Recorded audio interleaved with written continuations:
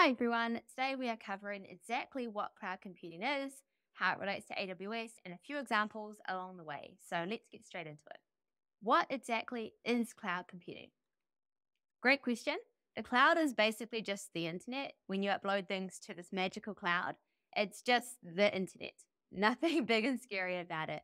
So when we talk about cloud computing, we're talking about accessing computing power over the internet. Now, this is pretty crazy because before cloud computing came along, if I wanted to run things faster or run more applications or have access to more storage, I would physically have to go to a store and buy another computer or buy some more storage or buy a hard drive. Whatever it is that you wanted, you'd have to go and physically set it up. Now, that's okay for you individually, but if you're a company or a tech company that needs a lot of gear, a lot of storage, a lot of compute power, this is where people would have to set up their own servers. So they would have entire rooms in their office buildings that were just set up with computers, servers, so that they could access them and get all of this additional computing power right on site. Now, when cloud computing came in, they said, hold on a second. We can actually offer all of those services just through the internet. You don't need to go and buy anything or set anything up. You can just access it online, which was huge and revolutionary and very, very, very cool. But what about AWS? Where does AWS come into the picture? So AWS is the leading cloud provider. So that means out of all of the different applications and services that are out there, we've got Google Cloud, we've got Azure, we've got AWS, we've got those are the three main ones to be honest.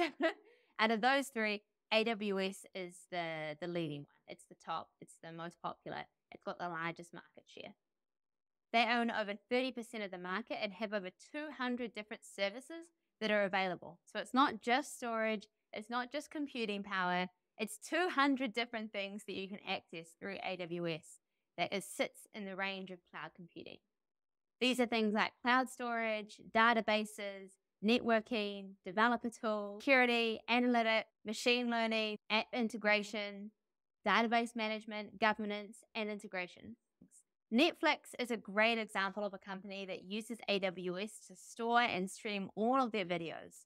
So, all of their movies, all of their TV shows, that's actually all being powered by AWS. They're using mainly storage and content delivery, and they don't need to own or maintain any physical servers to actually produce all of their applications.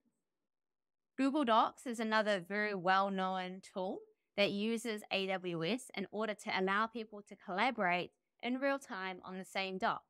If you've ever wondered how it is that you and your friend can both write in a Google Doc at the same time or see what each other are writing, then now you know that behind that is AWS. That's what's actually allowing them to do this. They're using one of AWS's services or to edit the doc at the same time. AWS has heaps of different services, but some of the most popular ones, which we're going to be covering today, is the AWS S3, which stands for Simple Storage Service.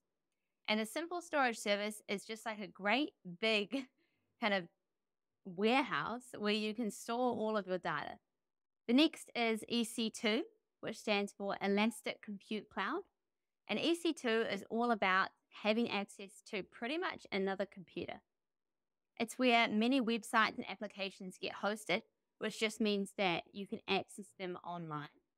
But the real game changer was that you could scale up or scale down your computing power depending on when or how you needed it. This saves companies heaps of money because they're only paying for what they use. So that's it. That's our intro into cloud computing and how it relates to AWS. Let's get started on some of the other deeper topics.